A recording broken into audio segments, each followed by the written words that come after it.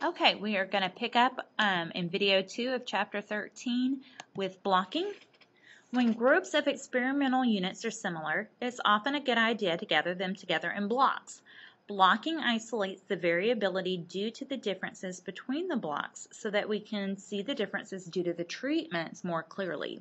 When randomization occurs only within the blocks, we call the design as randomized block design because you separate your your subjects into the blocks, and then you randomize from there.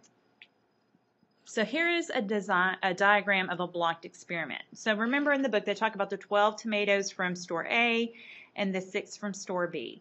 And so they, they think that the store that the tomato comes from might affect its juiciness and tastiness. So what they decide to do is just separate the tomatoes based on their store of origin. Now, um, Notice there's no random assignment when they're split into the blocks because that there wasn't a random assignment. The tomatoes came with that characteristic. Okay, you don't randomly assign which store they came from. 12 of the tomatoes did in fact come from store A and 6 tomato plants did in fact come from store B. Now, once you've got them in the blocks, then you randomly assign them to the three different treatments. And so you can see the random assignment occurred within the individual blocks. And you evenly distribute the members of each block to the treatment groups. In a retrospective or prospective study, subjects are sometimes paired because they are similar in ways not under study. Uh, matching subjects in this way can reduce variability in much the same way as blocking. Matching can also be done in an experiment. They're basically um, just blocks of two. Blocking is the same idea for experiments as stratifying is for sampling. Both methods group together subjects that are similar and randomize within those groups as a way to remove unwanted variation. We use blocks to reduce variability so we can see the effects of the factors. We're not usually interested in studying the effects of the blocks themselves adding more factors. It is often important to include multiple factors in the same experiment in order to examine what happens when the factor levels are, are applied in different combinations. That goes back to that whole idea of looking at diet and exercise together.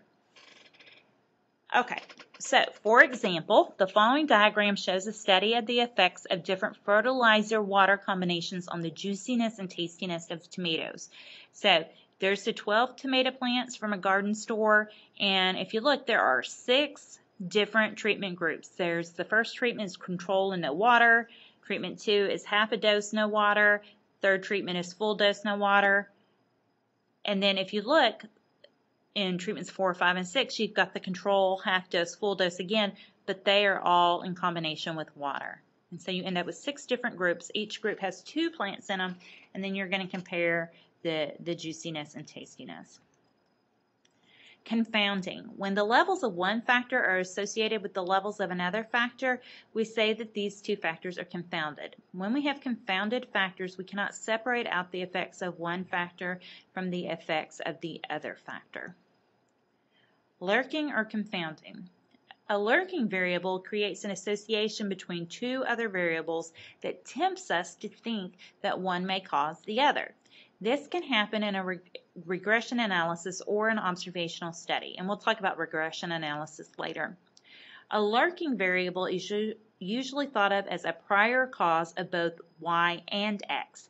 That makes it appear that x may be causing why. Remember we talked about the example where when ice cream first came out people thought it might be causing an increase in deaths by drowning and it because whenever ice cream sales went up so did deaths by drowning but then they found out that actually high temperatures of the summer months were causing people to eat more ice cream. High temperatures of the summer months meant more people were going swimming so it was actually just because it's warm and hot during summer that was the cause of both increased ice cream sales and increased deaths by drowning.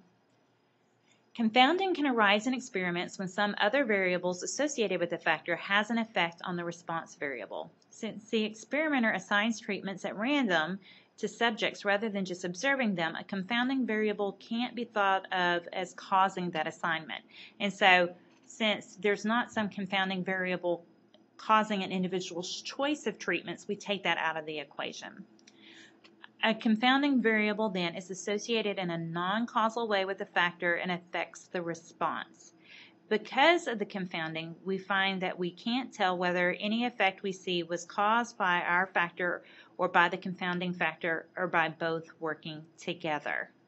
Okay, so we try to take that out of the whole equation by assigning the subjects to treatments at random so that the whatever confounding um, variable might cause a subject to choose a particular treatment, that's not involved because they've been randomly assigned to the treatments. What can go wrong? Don't give up just because you can't run an experiment. If we can't perform an experiment, often an observational study is a good choice. Be aware of confounding. Use randomization whenever possible to ensure that the factors not in your experiment are not confounded with your treatment levels. Be alert to confounding that cannot be avoided and report it along with your results. Sometimes that happens. You realize after the fact or you realize, oh, there could be something confounding what we're seeing and you just have to report it. Bad things ha can happen even to good experiments. Protect yourself by recording additional information. Whenever you're conducting an experiment, record, record, record. Whatever happens needs to get written down. Don't spend your entire budget on the first run. Try a small pilot experiment before running the full-scale experiment. You may learn some things that will help you make the full-scale experiment better. Okay, examples. Example one, heart attacks and heights. Researchers who examined health records of thousands of males found that men who died of myocardial infarction, heart attack, tend to be, to be shorter than men who did not. Question A, is this an experiment? If not, what kind of study is it? No. There was no random assignment of treatment height to the subject's men. This was an observational study, probably retrospective. The way it reads, it sounds like it's retrospective. Question B, is it correct to conclude that shortness causes heart attacks in men? Explain. No, correlation does not imply causation. Although it is possible that shortness causes heart attacks, it is also possible that there is another variable that is the cause uh, of the increased risk of heart attacks. Example 2, bipolar. Over a four month period among 30 people with bipolar disorder, patients who had been randomly assigned to receive a high dose, 10 grams per day, of omega 3 fats from fish oil improved more than those given a placebo. Is this an experiment or an observational study? Now it says they're randomly assigned to either getting a high dose or not, so it's a, an experiment. Okay, since it's an experiment, we have certain follow up questions. First one Who were the subjects studied? Bipolar disorder patients. What is the factor involved in this study and how many levels are there? Well, there's one factor given at two levels, 10 grams per day and 0 grams per day are the placebo. So the placebo has none. How many treatments are there?